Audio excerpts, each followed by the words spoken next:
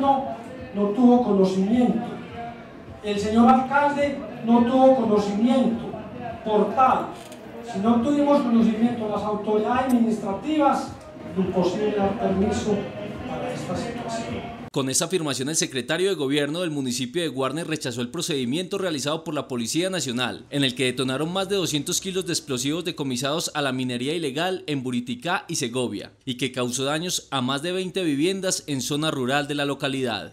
No tuvo ningún conocimiento.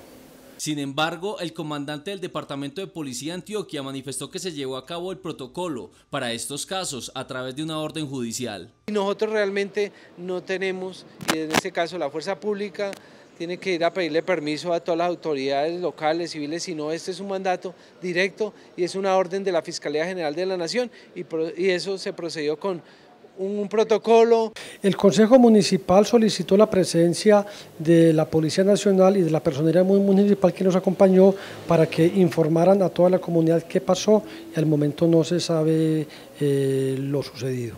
Por ahora los afectados están siendo atendidos por la Policía de Antioquia, que les están reparando sus viviendas. Sin embargo, analizan una demanda colectiva frente a lo sucedido.